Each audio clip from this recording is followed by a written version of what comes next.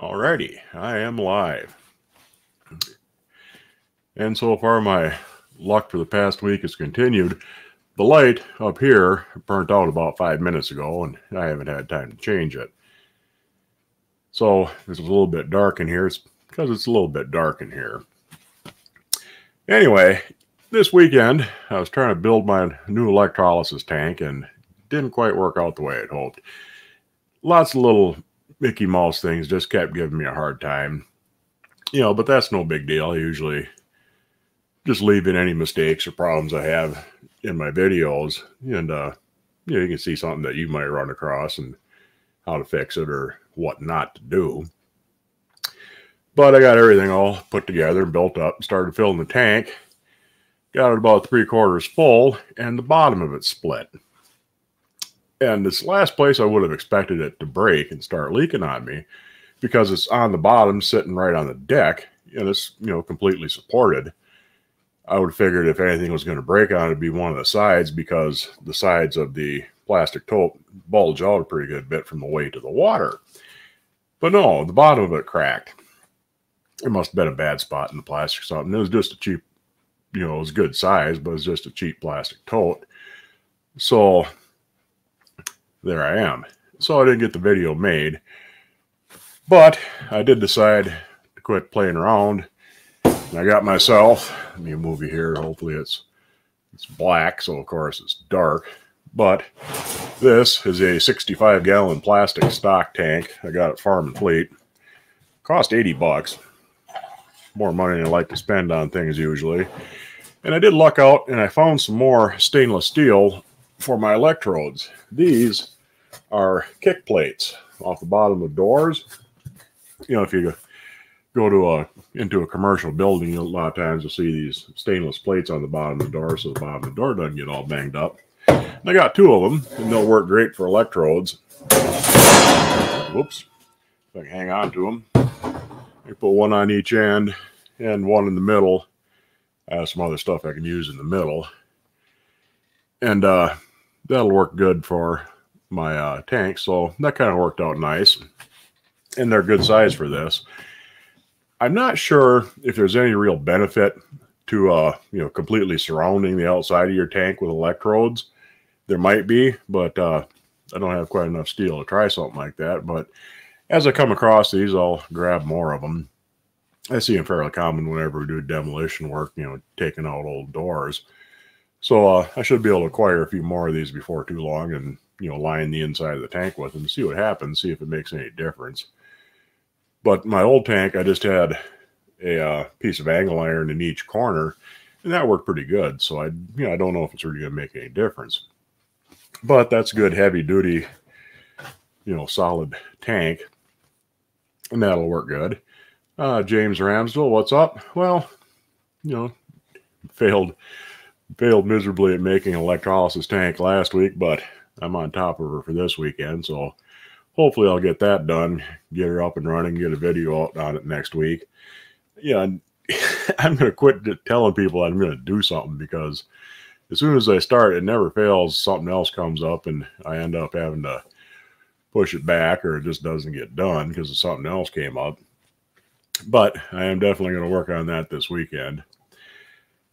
And I got a little bit of show and tell things to do. I got one new acquisition over the week. It's a uh, DRU Dutch oven, DRU Holland, most people call them because they have, their logo is DRU, D R U is the name, and it says Made in Holland under it. It's real hard to see the logo on that. You know, it's right, right there. It's pretty faded. But I got this for next to nothing because it's in really bad shape inside. The enamel is peeling off. It's burnt. It's rusty. But I got an experiment in mind for this. And uh, they're known for making these with little tulips on them. In good shape. These are beautiful, beautiful uh, Dutch ovens. They're nice and light. They're real similar to Descoware. You know, these are, they're made in more or less the same area. And you see it's got little flower dealies there on the lid. And uh, they're real pretty with you know when they're in good shape. And there's different colors. This is a green one. There's blues and whites. And uh, they're nice and light. you know, this is a little bit bigger than the, uh, I have an oval Descoware Dutch oven. This is a little bit bigger. But like I said, you know, it's, it's pretty bad inside. And that enamel is flaking on the bottom. Just bringing it home, banging around in the truck a little bit, you can see there was little flaky bits coming off it. So it isn't really usable the way it is. And I might be able to do something to rescue it. I'm not sure. I'll have to try it and find out. But these usable ones anyway, they're getting more popular too. You know, they're still relatively inexpensive. One of these in good shape, you know, usually goes 30, 40 bucks depending on the size and the color and all that. But, you know, they're real nice ovens. I mean, they're nice and light, easy to handle. So if you come across one for a good price, go ahead and get it and you won't be disappointed. And uh, got a couple things stripped. If you remember that favorite ware, that favorite Scotch bowl I showed you a couple of weeks ago. This is what it looks like out of the lye. That's a, try to get the light there so you can see it. That's a block logo favorite. Piqua Ware number three, probably three quart. And a Scotch bowl. It's got the ring on it. And a bail on top. And that cleaned up real good. I'll give that a little bit of a trip through electrolysis. A little bit of rust on the inside that needs to come off. And I run it through electrolysis anyway after I strip them in the lye. Just to get any rust out and get them really good and clean. But that's really going to be nice when I'm done with it. And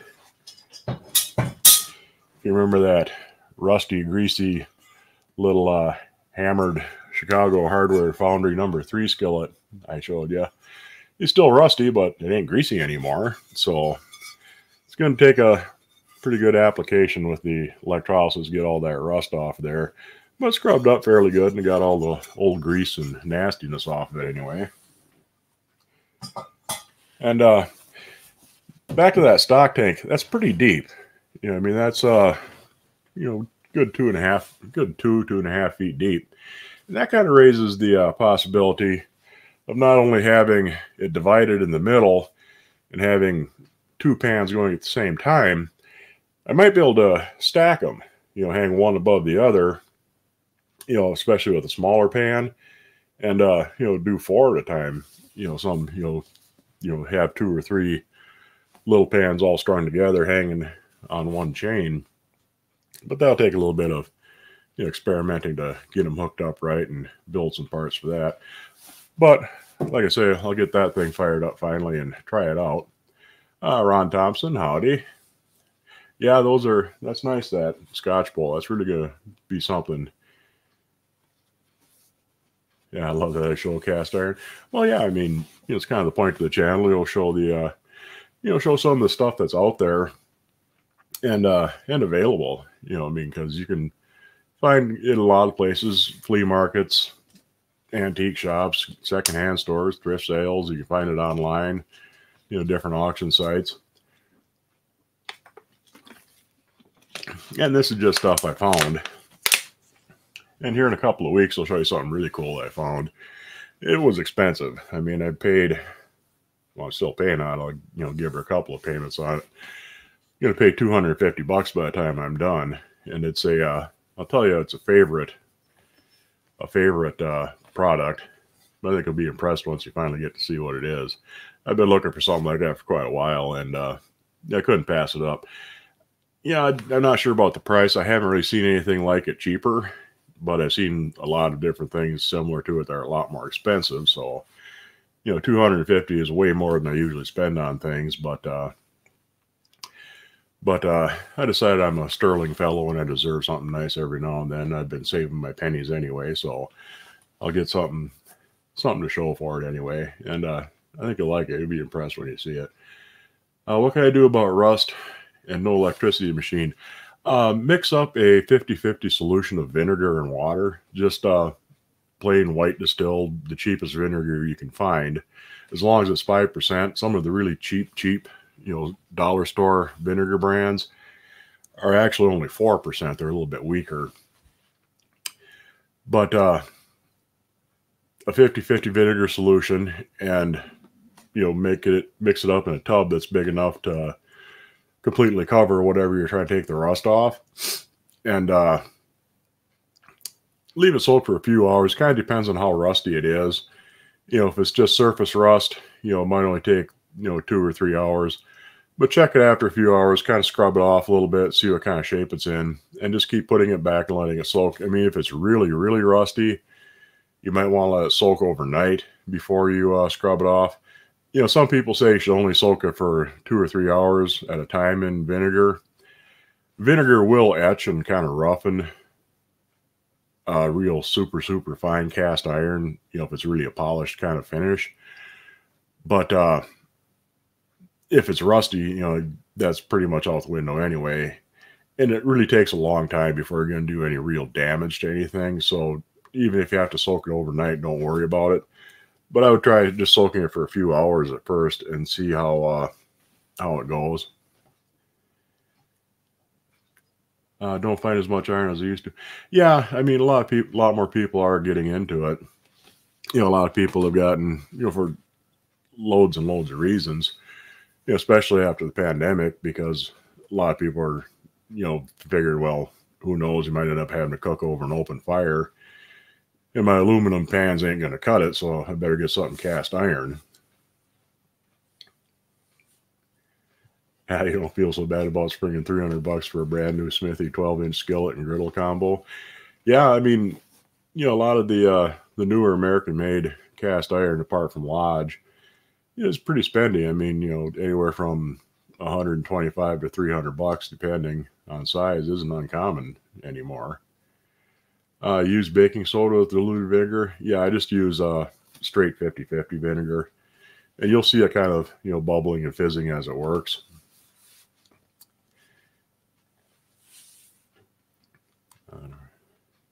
but yeah, I mean, it's it's a cool thing. I mean, it's something I haven't uh, I haven't seen a favorite like that.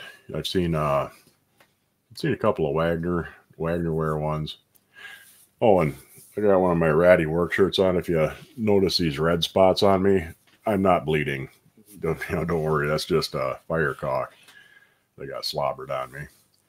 Oh, something else I found while I was out rummaging around secondhand stores is this cookbook, Forgotten Recipes. It's uh, got tons of recipes and household tips from the 20s and 30s. And uh, the first recipe in here is just really cool. I'm going to do this before long, you know, probably within the next month or so. I'm going to uh, try that recipe. But there's a lot of really neat stuff in here. And uh, a lot of them will be, you know, good projects for uh, on the cook stove over, over the winter, along with the uh, the cookbook catalog reprint that I got for uh I think it was for Monarch stoves. They had a bunch of recipes and advertisement for their cook stoves and then some recipes and then some more advertisement.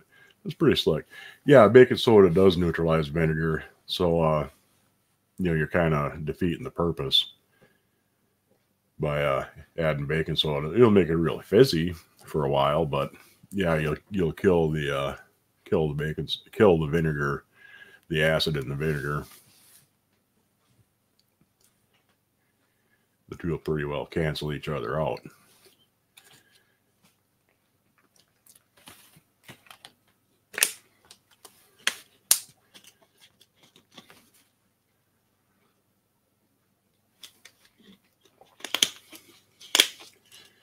Ah, hey, somebody from Long Island.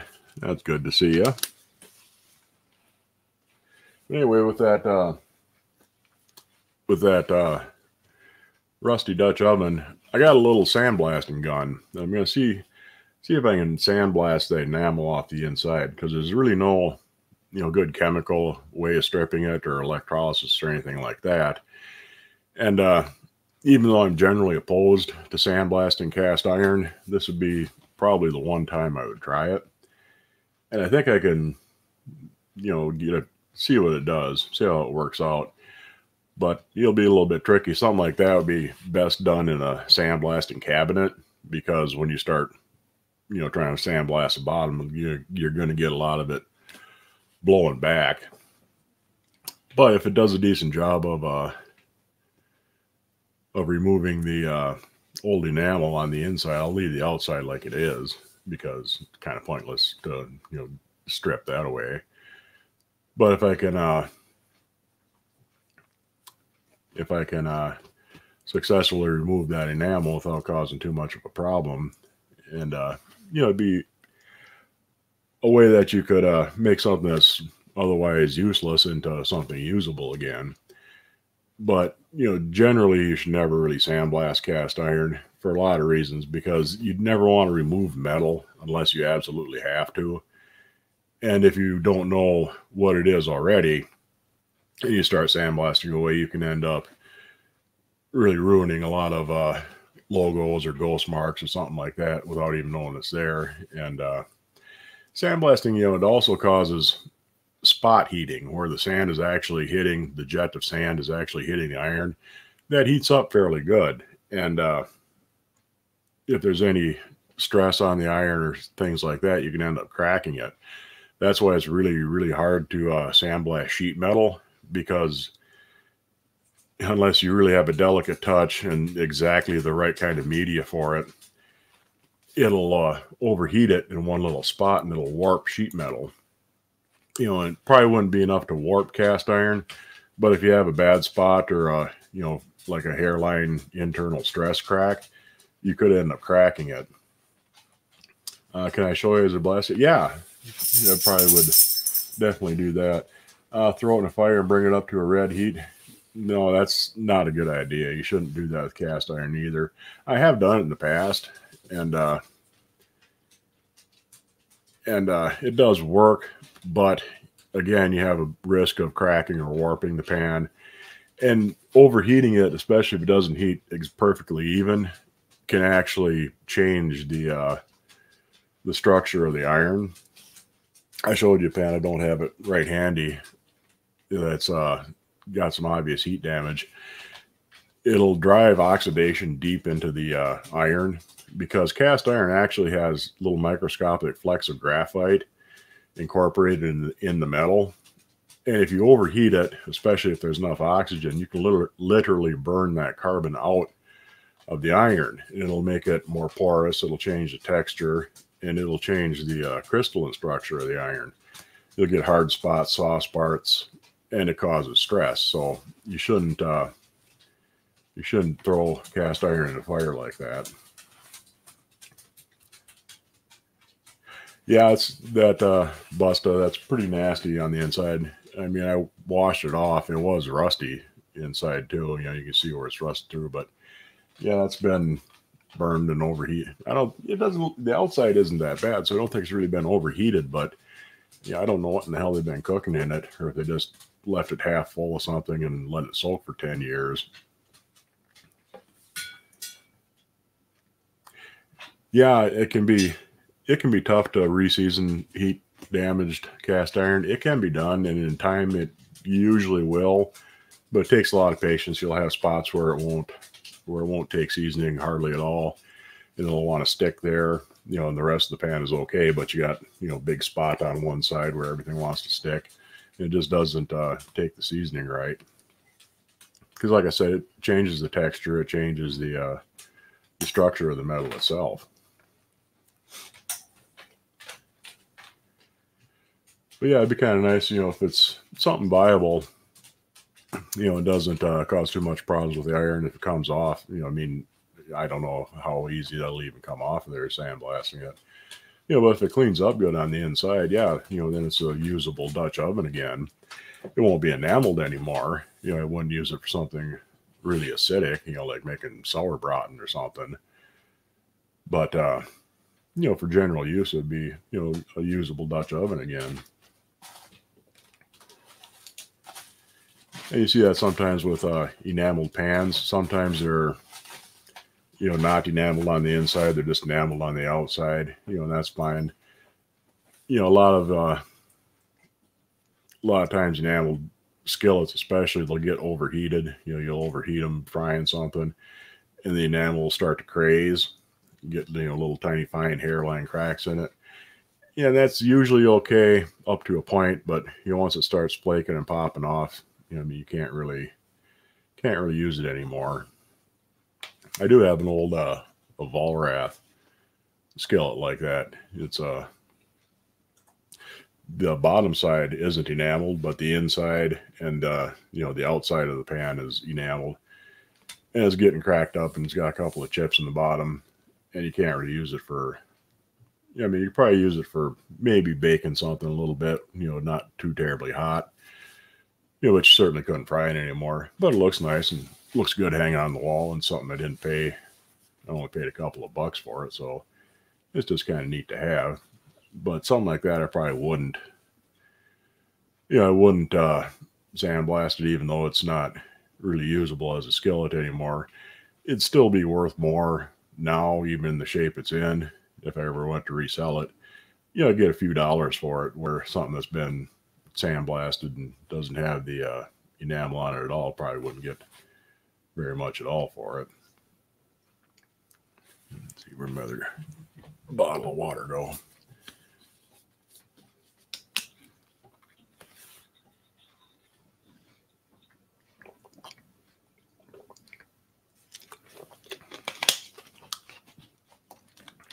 See, I don't think I missed anybody in the chat.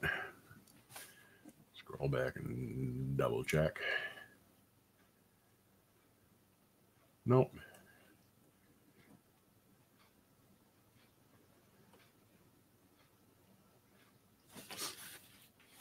Gotta get myself situated.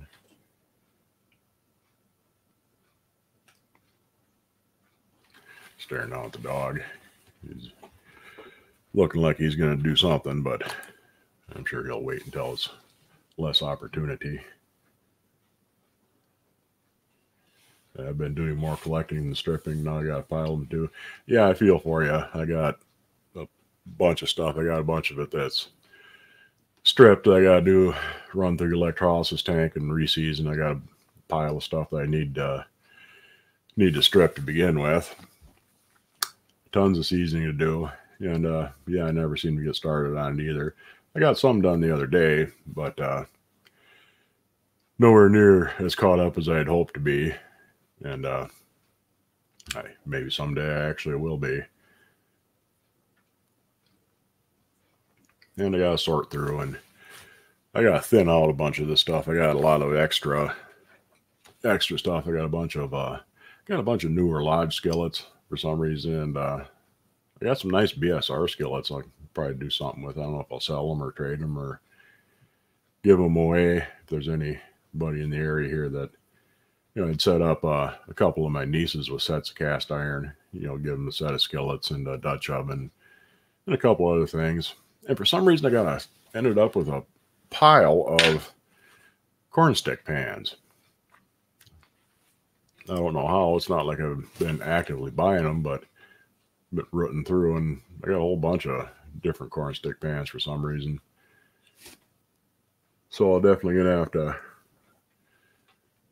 do some, you know, get some stuff finished up and get it actually ready to go, and then decide what I'm gonna do with it all. You know, because a lot of times I'll get, you know, get a box of stuff, you know, get four or five pans, and there's a couple of them that I want, and a couple of them that you know I don't need or I already have something like it. And uh, you know, I usually strip them down, clean them up along with everything else, get them, get them in decent shape. You know, some of it, you know, I can use for giveaways, and some of it I can, uh, you know, I might end up selling some of it. I don't know exactly yet. I'll have to figure out what all I got. I should have an apprentice like you. Yeah, I could use a little bit of help now and then. I cook on a glass stove, glass top stove with cast every day.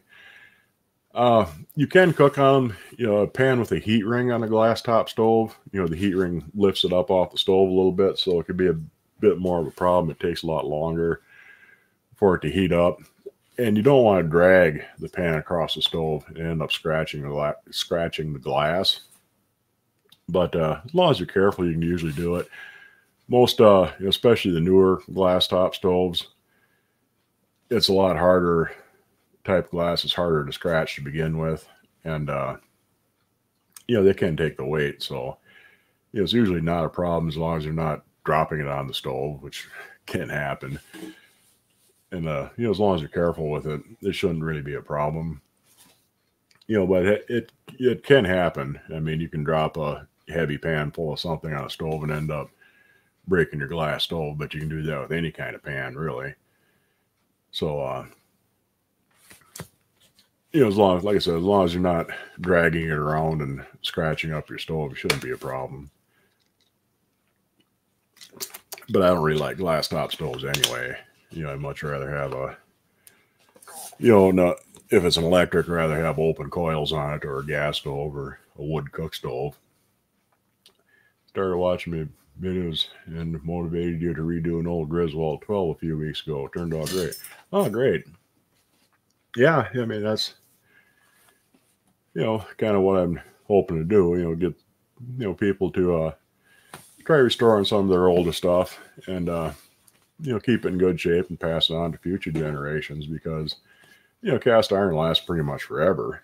I mean, I've got stuff that's well over 100 years old that I still use every day and somebody will be using it 100 years from now you know because you know it took a little time to to clean it up and get it in, back into good condition.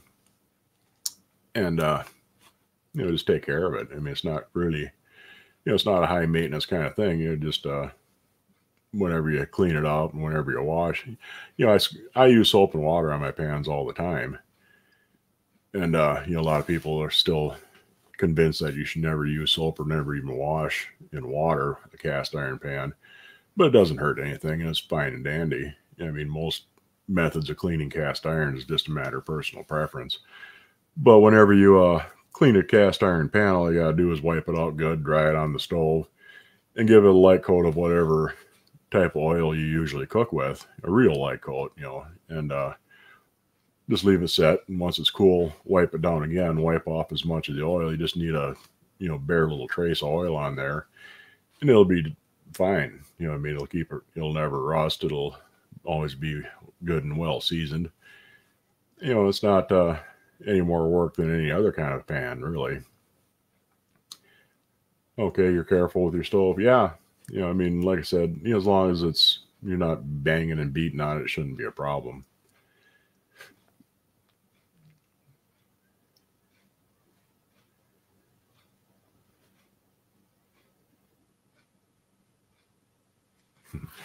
You pick it up and the handle is hotter the longer you hold it. I bet you your supply of Crisco, you drop it, it's bye bye stovetop. Yeah, I mean, if you grab a hot handle and you're not ready for it, too, you know, that could be uh, be what uh, triggers you to break your stovetop. But like I said, she said she's careful. And as long as you're always make sure you got a hot pad handy or one of those little silicone uh, handles that slide over the handle. You know, Lodge makes them. There's other other places that make them too.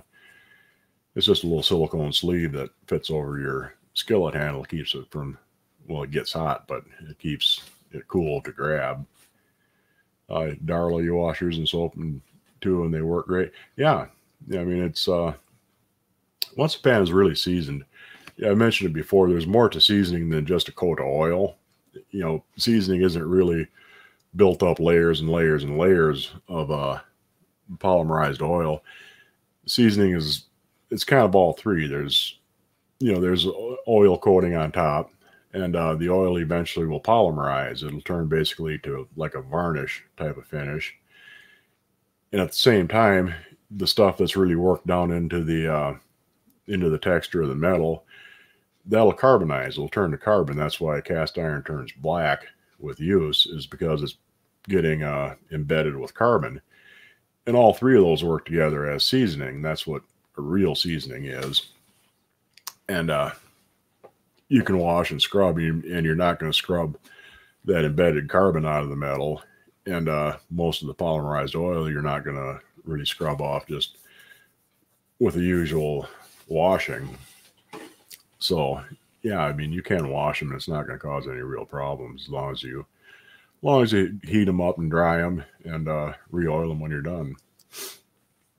You know, and like I said, I do that with my stuff. And even if you don't normally uh, wash them in soap and water, it helps to do it once in a while because it'll keep you from getting an excess buildup on there. a lot of people say that the pans get sticky on them. That's because you have way too much oil on them. And that oil is starting to polymerize and get sticky and tacky. And uh, it can be kind of hard to get it off sometimes. You know, sometimes they'll scrub off. Sometimes you can heat it up and wipe it down with oil, and the uh, oil will act kind of like a solvent. You know, you can heat it up and wipe it down and keep heating and wiping, and it'll eventually get that stickiness off. Yeah, and sometimes you just gotta, you know, strip them in lye or oven cleaner because it just ain't gonna come off because you got so much on there. Yeah, dry them on a stovetop burner. So yeah, and uh, you know that keeps them in pretty good shape. But then again, you know, if there's nothing stuck to it, really all you gotta do is wipe it out when you're done, and uh, you know that's it, and you're good to go. Just you know, make sure you don't leave too much on there. You know, when I uh,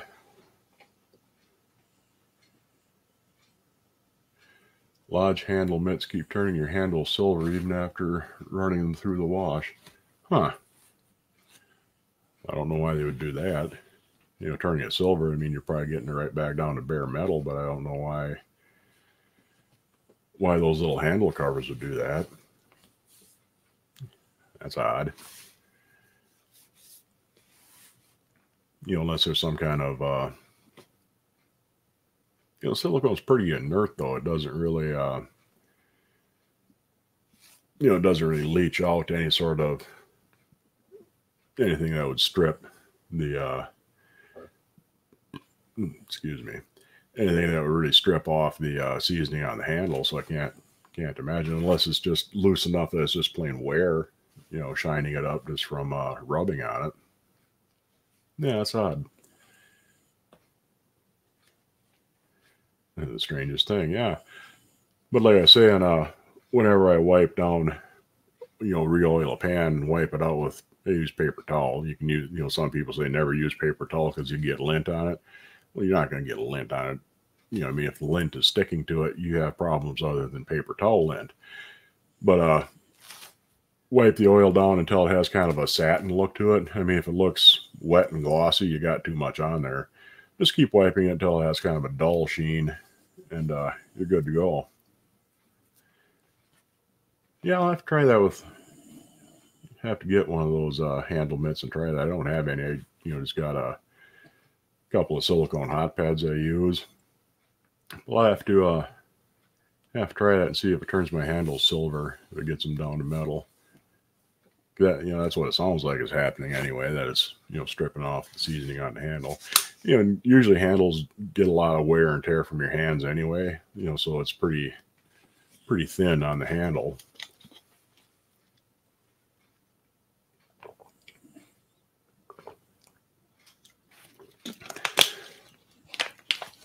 Hopefully next week I'll have a little better topic prepared, and a little bit of uh, a little bit more. But it's fun just to read the chat and talk back and forth amongst you.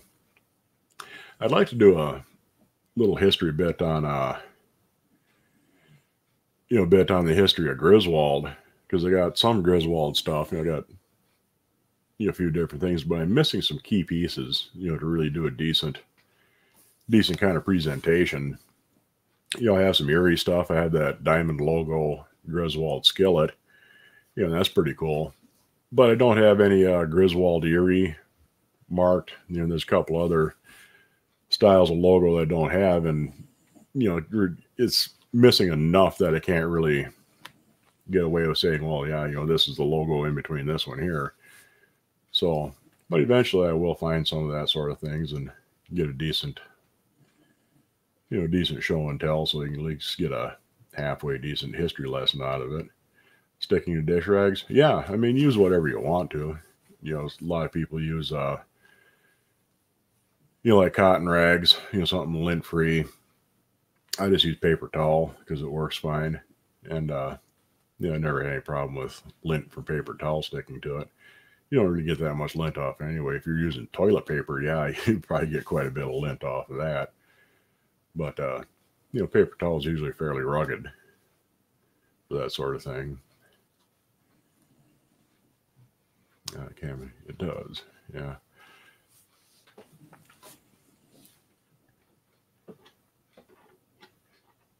And I want to get another uh, chainmail scrubber. I had one years and years and years ago, and uh, it worked pretty good.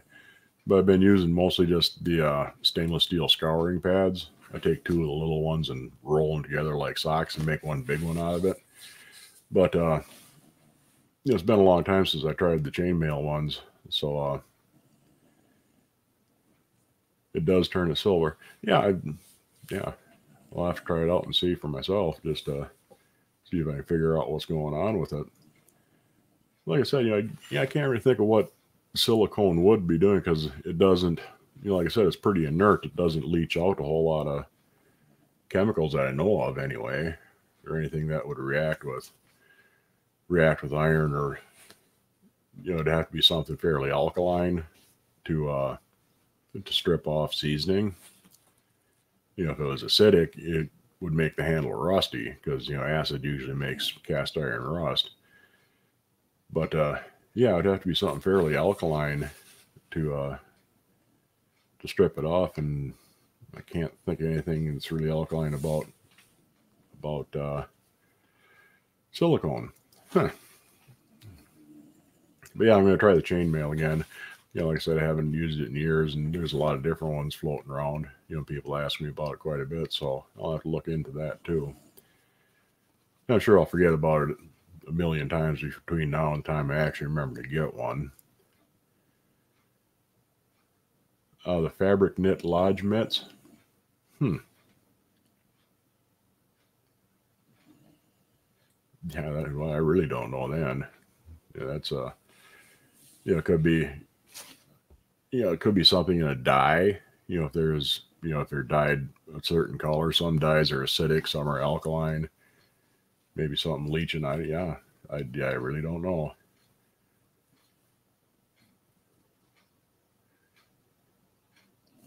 Oh, you found your grandmother's old cast iron pans, a Wagner 9, uh, one notch Lodge, number 8, and a number 5 BSR. Really happy. Yeah, those are really nice to find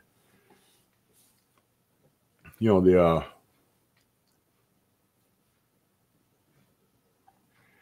uh, what's the value of a senior Wagner corn stick pan? Found one, but it's been sandblasted.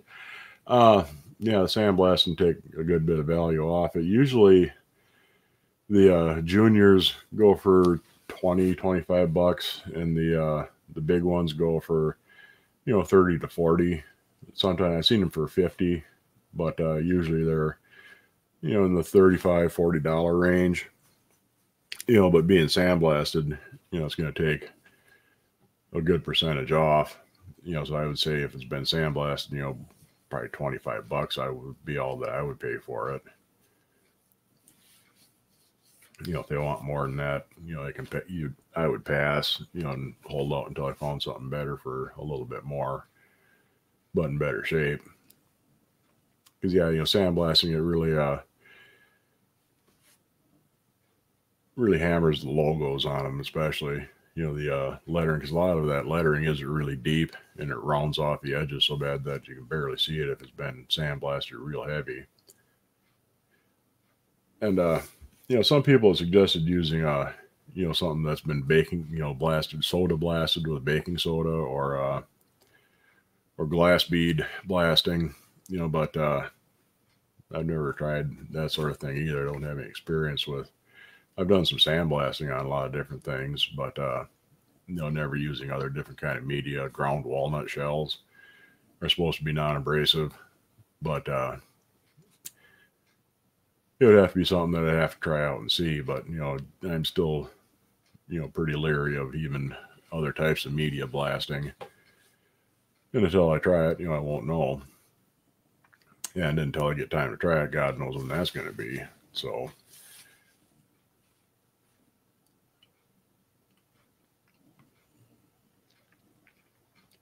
But hopefully I can finally get this electro electrolysis tank project done and get on some of the other stuff.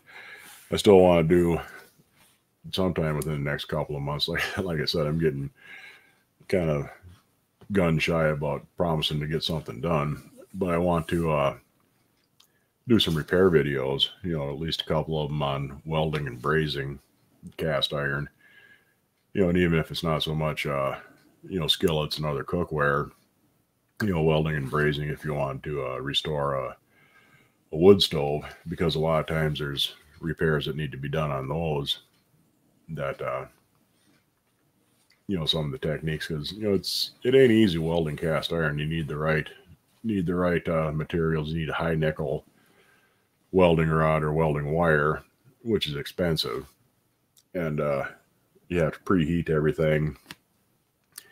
And it's tough to keep it from, you know, warping and cracking on you. And uh, I'm a fairly good welder, but I haven't really done a whole lot of welding in the last few years, so I'm kind of out of practice. And uh, I think I've only welded cast iron a couple of times. I've done a fair bit of brazing on it.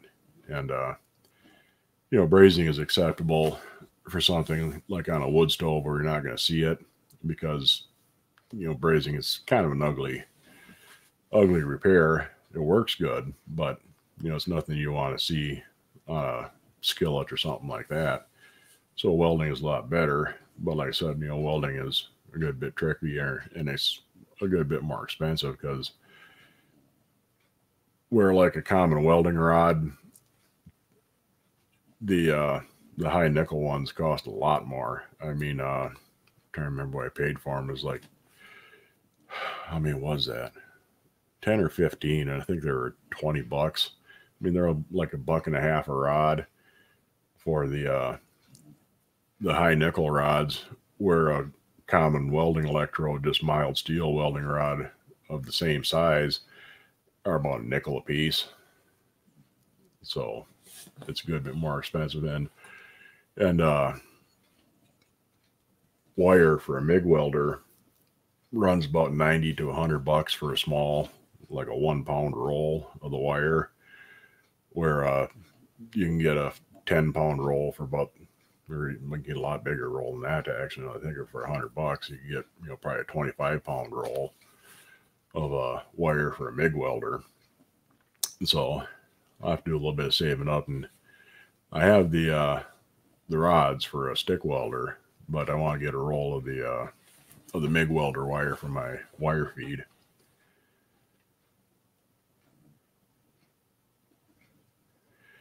Uh, found a Griswold baled skillet with a welded handle for 50 bucks. Yeah, that'd be, you know, maybe you shouldn't have passed. Yeah, baled Griswold skillets are real scarce.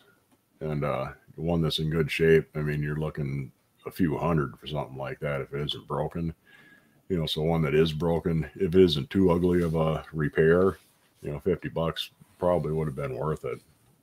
If you can still find it, I go back and get it. But, uh, you know, if it's gone, it's gone.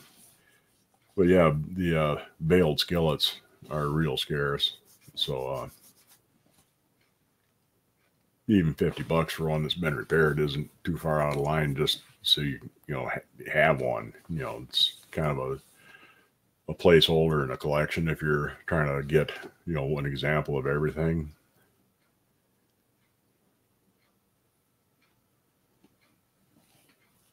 Yeah, if, you, if I need an apprentice, I'll think it. Yeah, I'll think it over. But uh, you know, half the fun of having an apprentice is, you know, torturing them horribly with all the unpleasant hard work and you got to tease them relentlessly because you know, like I said, they're apprentices, and if you don't tease them relentlessly, there's no fun in it. That's why most trades propagate themselves so that you have somebody to do all the grunt work for you.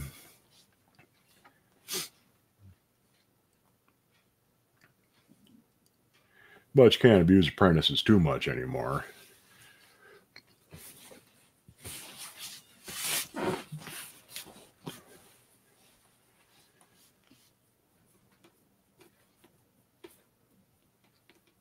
but it is kind of fun picking on them. Not too bad. I mean, construction workers tend to be kind of a rough lot anyway.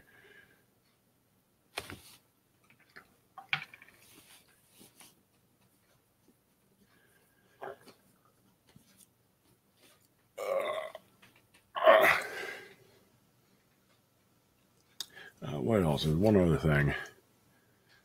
I'm always forgetting the one other thing. Oh, sorry you're late. Oh, don't be sorry. It's just good to have you here whenever you show up. It's never too late unless, of course, it's too late, and then you can watch it on the watch it on the regular channel anyway. Go back and see what you missed, and you know sometimes you actually miss something good, and sometimes it's just kind of me rambling on. So you never know.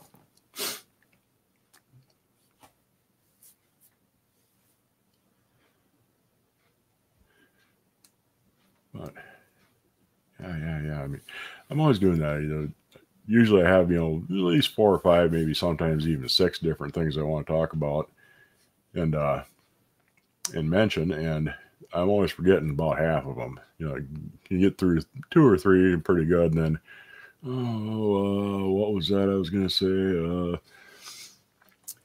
it'll come to me about ten minutes after I get done with the show, and oh yeah, that's what I was gonna say.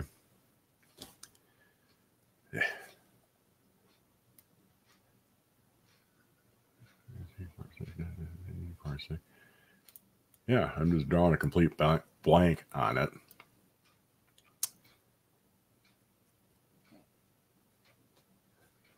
I have all the good info. Well, I try. I mean, you know, I understand what I know, but there's tons of stuff I don't know and I haven't seen yet. You know, so I'm always, always looking. Have you seen those Blackstone grills? Yeah, I've seen them. You know, I don't know anybody offhand that has one. No paying a lot of old knowledge. Yeah. Uh, yeah, the Blackstone, I mean, they look like a pretty, you know, pretty good, good, uh, setup. You know, like I say, you know, I don't know anybody near at hand. I've never seen one in action, but, uh, you know, the people that do have them are seem to be pretty pleased with them. You know, they're great for doing all kinds of things outside. And you just uh, season up the top like you would any other cast iron, and away you go. Let's have you. Got a couple extra water bottles here. Dying of thirst. Starting to turn hot and humid again. It's been nice the last few days, but it's going to be nasty over the weekend. Starting tomorrow, actually.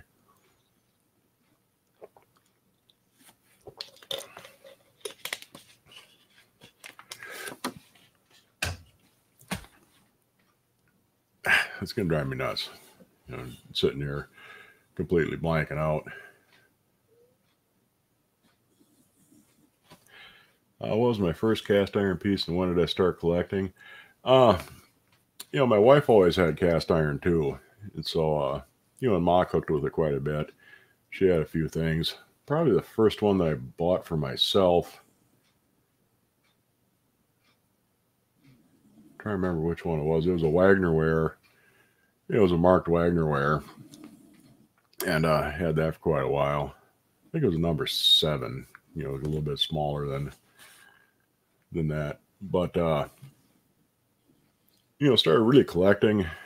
You know, getting into it maybe five or six years ago, because we had quite a few bits and pieces of cast iron that we'd accumulated over the years and started really looking into it. And uh, you know, finding out the history on it and stuff like that, you know, started getting really interested and, uh, you know, kind of took off from there. And so really about, you know, about five or six years I've been really into collecting it, but, you know, it's something I've pretty much always been around, been around my whole life. So,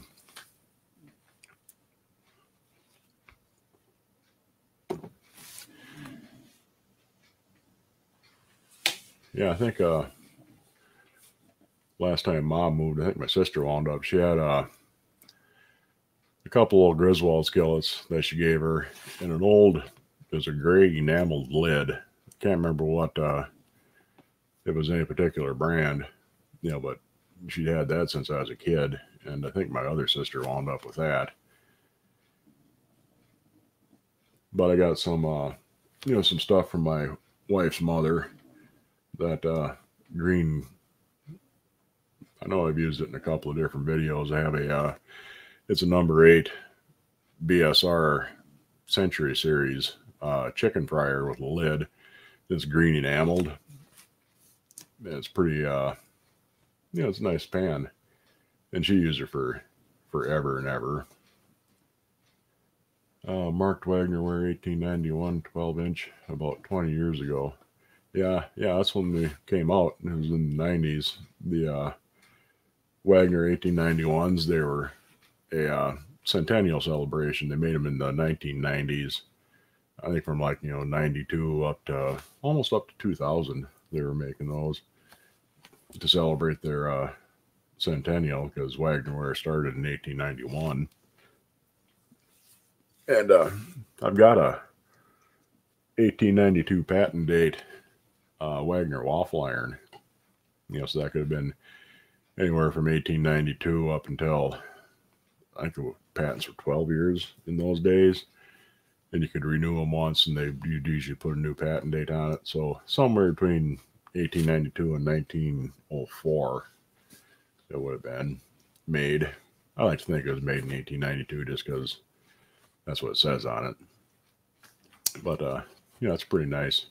Nice little waffle iron. We've had that for years and years and years too. Uh, I don't even remember where we got it, but something that we've the wife and I have pretty much always had.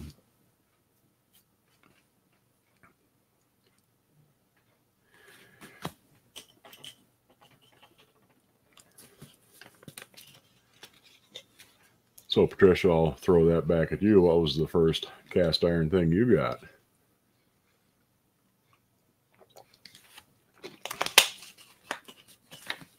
Anybody else listening, for that matter, you can uh, chime in with the first cast iron piece that you got. You know, and even if you don't already collect it, I mean, it's just a good thing to have a little bit of knowledge on how to care and use it but you know, it's the sort of thing you can kind of slide into real easy. It can get to be get to be quite the addiction. You know, you know, it's fun just kind of going out, you know, shopping around and seeing what you can find. I mean, that's half the fun of it is, you know, the hunt is as much fun as the catch.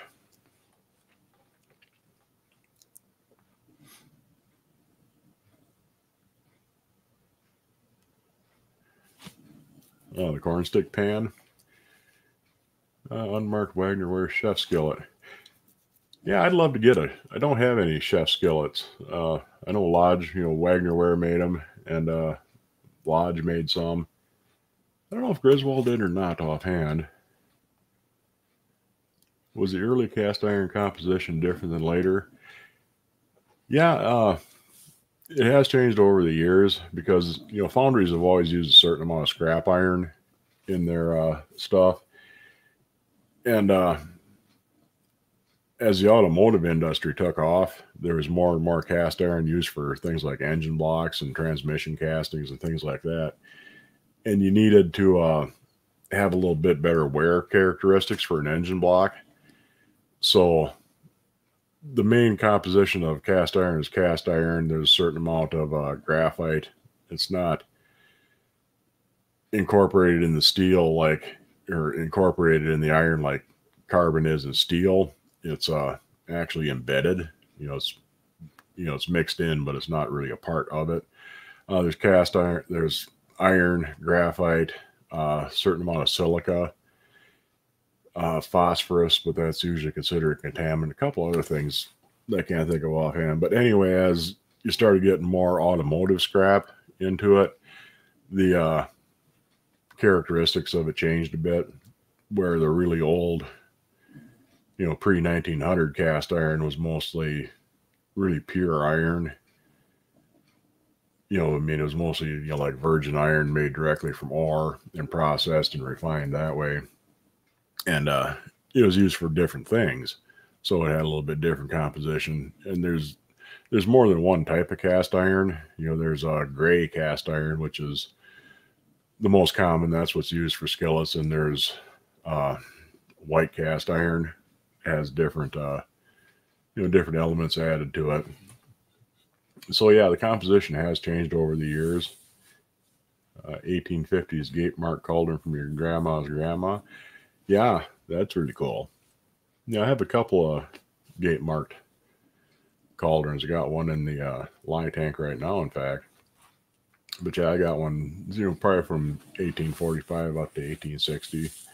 And I think that's the oldest, the oldest uh, cast iron that I have. Uh, cornbread doohickeys. Yeah, a lot of people seem to start off with those because they're pretty cool because, uh, you know, there's a neat little thing.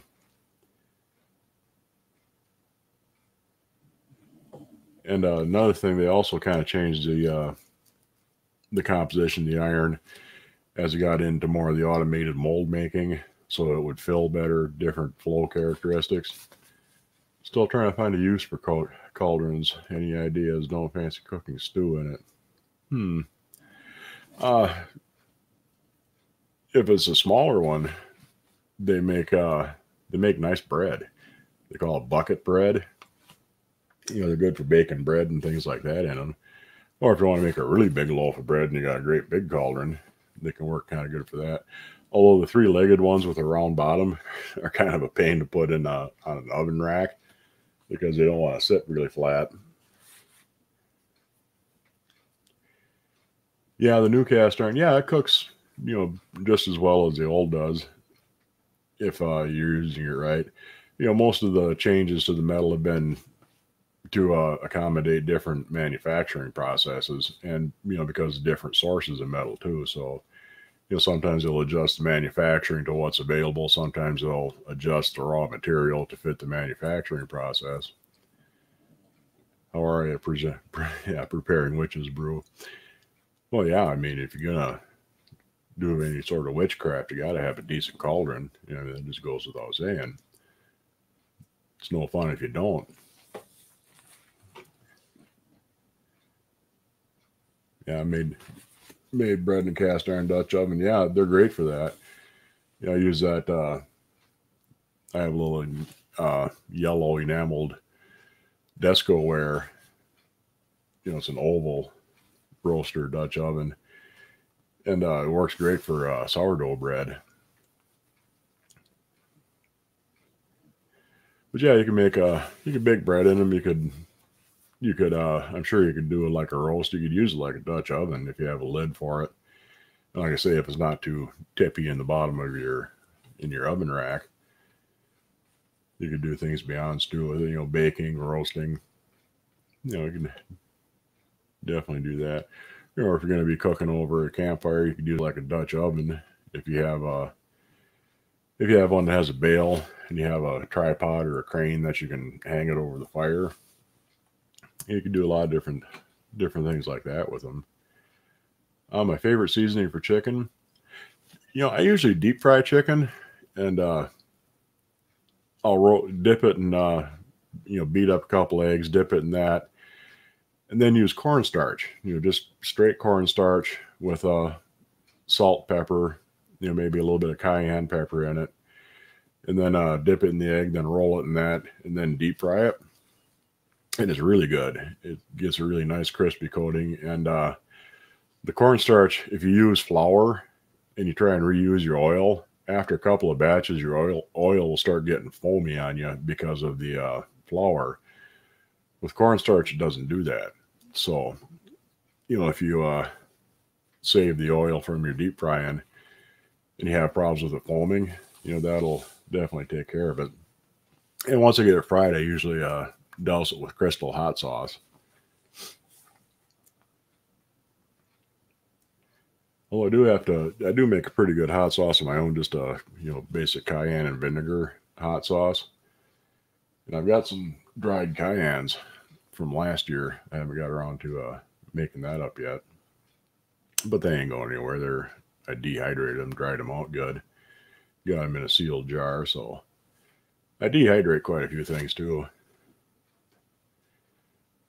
Uh, no, I don't have a video making hot sauce. It's really easy. It's just, uh, I usually break them up a little bit and uh, simmer them in vinegar for a little while, just kind of soften them up. Throw them in a blender and let that blend for a while to really pulverize everything, and then run it through a sieve to get the uh, skins and seeds out. But it'll let the, it'll let the uh, pulp pass through. Uh, Frank's Red Hot. Yeah, Frank's Red Hot is good. you know, I don't, I'm not really a big fan of Tabasco sauce, but uh, I like cayenne. Really like cayenne pepper. You know, the uh, cayenne based ones. Uh, Crystal, Frank's Red Hot is another good one. Uh, there's a couple other brands I can't, you know, I've tried that I like, but I just can't think of them right offhand. You know, the Tabasco peppers, I don't, you know, they got a little different taste to them that I don't really care for. I mean, it's okay, but uh, love to see you do one on chicken. I do have a video where I uh, I made some champagne battered fish and uh, French fries. That's on my channel there somewhere. You'd have to look through. I think I did it about a year ago, a year and a half. Texas Pete. Yeah, I haven't tried that. I'll have to give that a shot. Yeah, I mean, I like things fairly hot, you know, but I don't need something that's going to burn for, you know, just plain heat. You know, some of these, you see like the one chip challenge where they have, you know, Carolina Reaper and ghost peppers and, you know, three or four different real super hot, high Scoville number peppers all on one little Dorito chip type of thing. You know, and it just fries your mouth. You know, man, that's all it really does for you. But uh, I find that most cayenne sauces, you know, they really have a good flavor to them beyond just being hot. You know, they're they're not super super hot. You know, it's nothing, you know, in the lethal range, but uh, they really had a good flavor to it.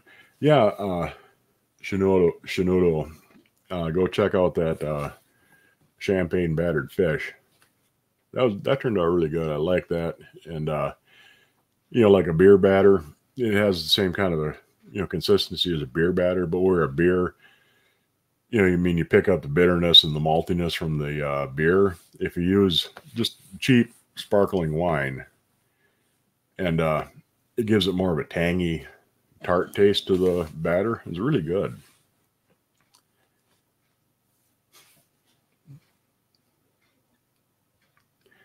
Anyhow, well, with that, in fact, if you give me a second here, I can go and find, yeah, Louisiana hot sauce. Let me check through my videos here quick, and I'll get you a uh, get you a link for that one. History, history, history.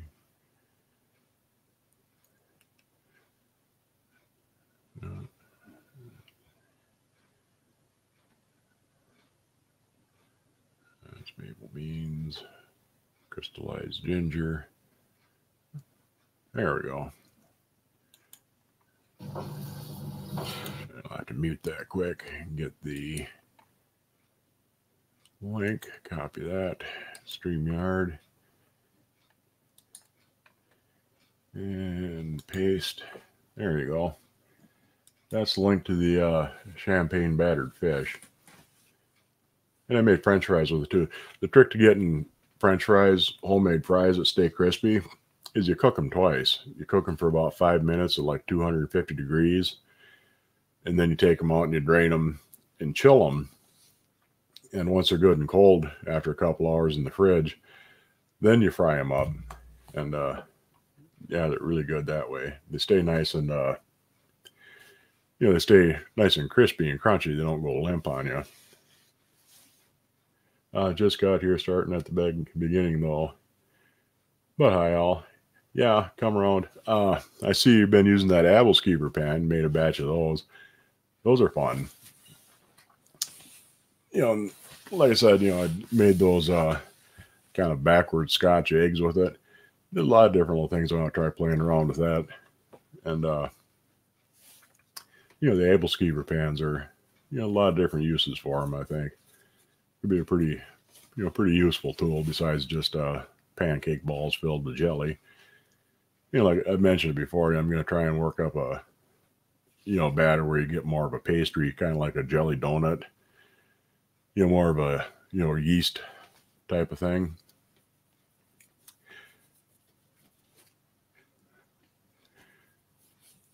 And, uh, you know, make more, you know, see if I can make like a mini Bismarck type of thing. That'd be fun you know, a couple other things I've been kind of considering with doing with it. Trying cake mix. Yeah, I bet you that would work. I bet you brownie mix would work good in that too. If you did uh you know, did little brownie balls. That'd be cool. You know, with a you know chocolate kind of filling. That'd be a really neat thing.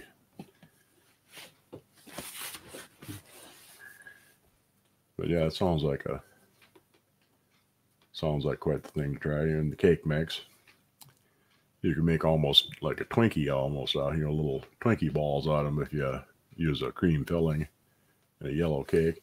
No, and yeah, hi Billy Lee. I hadn't noticed you. If you were in here earlier, I must have just kind of skipped right past you. Sorry about that. but anyway, I've been going on for an hour. Uh, bought a vintage KitchenAid stand mixer over the weekend. Need ideas on what to do with it. Uh, they're a real useful thing to have in the kitchen. You can uh, they're great for kneading bread dough. You know, saves saves a ton of work making bread. And uh, I mean, I hardly, you know, I just let my uh, mixer do all the kneading for me. You know, I just basically just shape it and don't really need my bread anymore. Yeah, Twinkies and brownies would be great in those. Yeah, I mean, of course, they look like you know giant rabbit turds, but the brownie the uh, brownie balls would be pretty cool. Yeah, Twinkies have a 30 year shelf life. That's a lie. I mean, it's much much closer to 75. But uh, yeah, stand mixers. There's a, there's a lot of useful attachments for it. Too, uh, I have a meat grinder for it, and I have it's a spiralizer. I mean, it's kind of a specialty tool for you know you can uh, it's great for peeling apples. If you have a ton of apples to uh to process through, you can peel and slice up apples with it. Really cool. And it has different blades, and you can make uh potato strings with them, and those are really neat. You know, but like I said, you know, unless you do a lot of stuff like that, because it's fairly expensive. I mean, the cost anywhere from if it's on sale, you can get it for about 80 bucks, but usually they're about a hundred or more you know, so unless you do a lot of things like that, you know, it's not really worth it, but it's really useful if you do.